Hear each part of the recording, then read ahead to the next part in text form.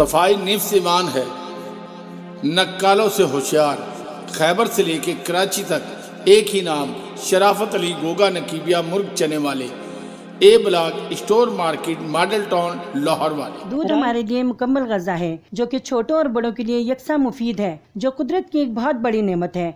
तो हमारा पेश करदा मुँह प्योर मिल्क स्पेशल, जो कि बिल्कुल खालिश जायकेदार और मुकम्मल वाइटामिन से भरपूर है।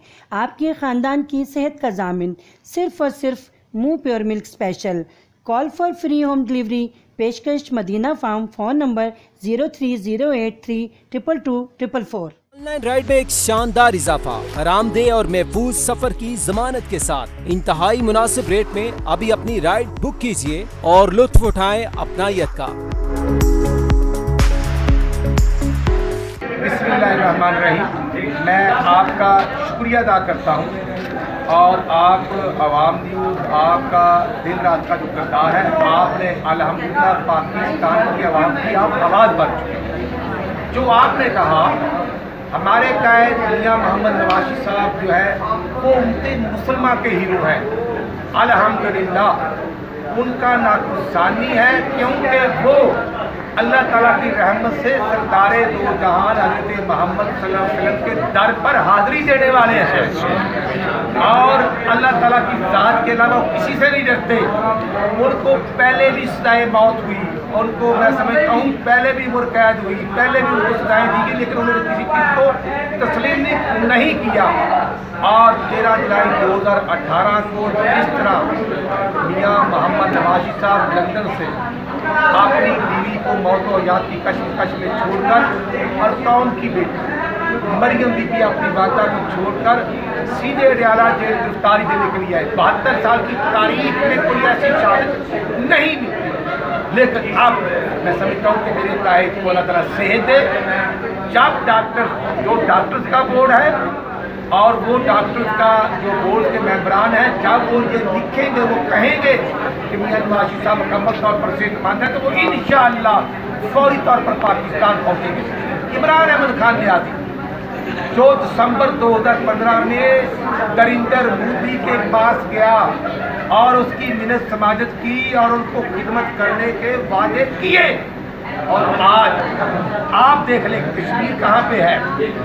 जब मोदी अपनी इलेक्शन कैंपेन में कहता था कि 370 आर्टिकल का खात्मा करूँगा, पैंतीस ए का खात्मा करूँगा और पूरा कश्मीर का स्टेट का स्टेटस खत्म करूँगा। तो हमारा ये मुल्क में रहने वाले इमरान अहमद खान, न्याजी साहब जो प्राइम मिनिस्टर की कुर्सी पर विराजमान है, धांधली की पैदावार है न्याजी साहब ने कहा था कि मोदी जीतेगा तो कश्मीर हासिल होगा।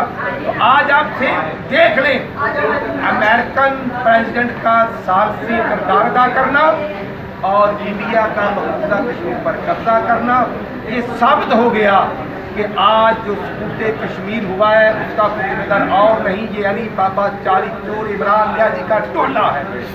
मियाँ मोहम्मद नवाशी साहब ने यू एन ए में दो हज़ार सोलह में स्पीच की बरहानवादी की बरहानवादी की वादी की शहादत का जब ज़िक्र किया तो पूरी दुनिया की टांगें कांपने लगी। लेकिन मियाँ नवाशी साहब ने फौरी तौर पर वहाँ से ही सेनेट और कौमी असम्बली का जॉइंट सेशन बुलवाने का ऑर्डर दिया और कश्मीर के काज को अलहमदिल्ला एक इंटरनेशनल इशू बना दिया।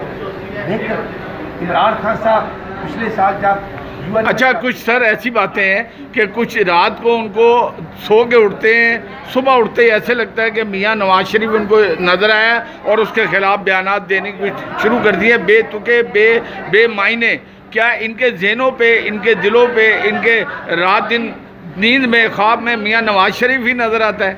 मियाँ नवाज़ साहब अलहमदिल्ला नमाज़ पढ़ने के लिए हाथ हाथ हटाते हैं तो उनकी टांगे कांपने लगती हैं। अगर वो चाय पीते हैं तो इनकी रात की नींदें आराम हो जाती हैं। और अगर वो चहल कदमी करते हैं तो इनके गुजरा और नालायक और नाहक जो है, वो अपने हवास बाख्ता हो जाते हैं। क्योंकि उनको पता है कि मियाँ मोहम्मद नवाशी साहब के साथ ये शेर खड़े हैं। ये लेबर विंग के शेर खड़े हैं ये एमएसएफ के कारकुन खड़े हैं ये मुस्लिम के कारकुन खड़े हैं। और इन वो दिन दूर है जब अल्लाह तला की रहमत से हमारे कैद मोहम्मद नवाज़ साहब चौथी नारा लगा ज़ोर से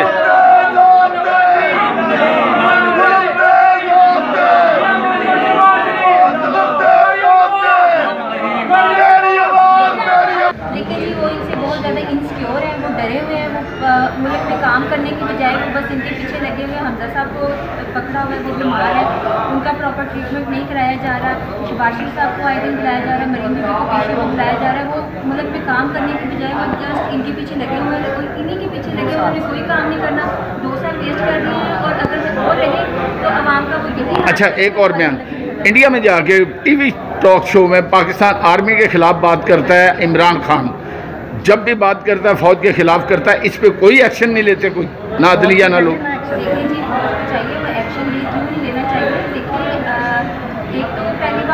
तो इमरान खान अगर आया है तो मुल्क में काम करे, दूसरे वो अदालत की कदर तीसरा उसको चाहिए कि वो की से निकले और सिर्फ़ आवाम के लिए काम करे